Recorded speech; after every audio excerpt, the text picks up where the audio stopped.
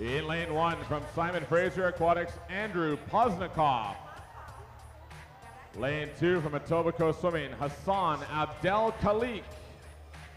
Lane three, Cascade Swim Club, Joel Greenshields. In lane four from Daytona Beach Speed, Ryan Lochte. Lane five from the UBC Dolphins, Tommy Gossland. Lane six from the UBC Dolphins, Kelly Aspinall. Lane seven, UBC Dolphins, Coleman Allen. And in lane eight from the UBC Dolphins, Luke Petty. A reminder, please, no flash photography during the starts of the races. Madam Referee.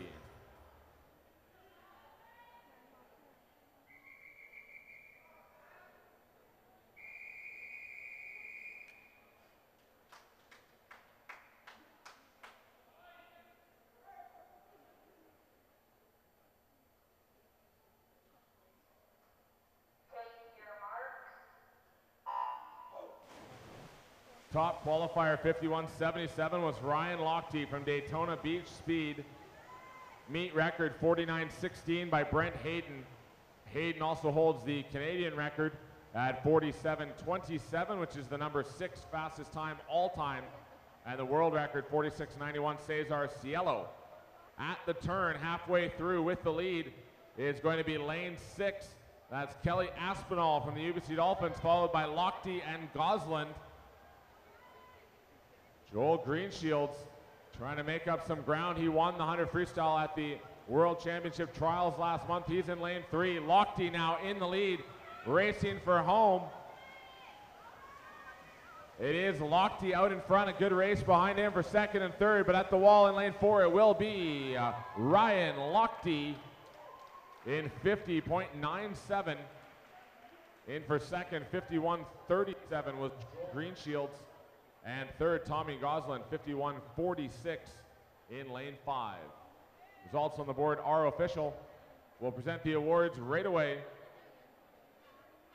for the men's 100 freestyle.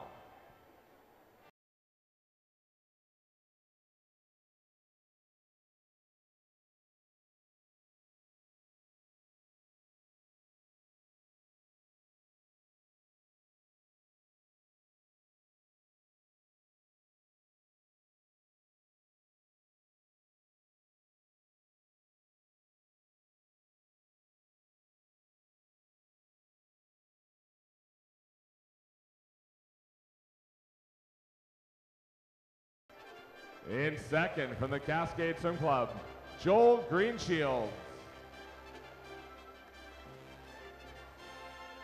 And the winner of the men's 100 freestyle from Daytona Beach Speed, Ryan Lochte.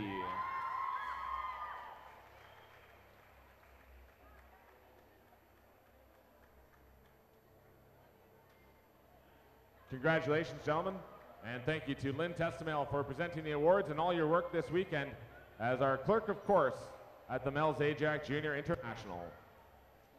Our next event, the women's 100 backstroke. This event is sponsored by Omega Swiss Timing and Rob Trainer. C final, Madam Referee.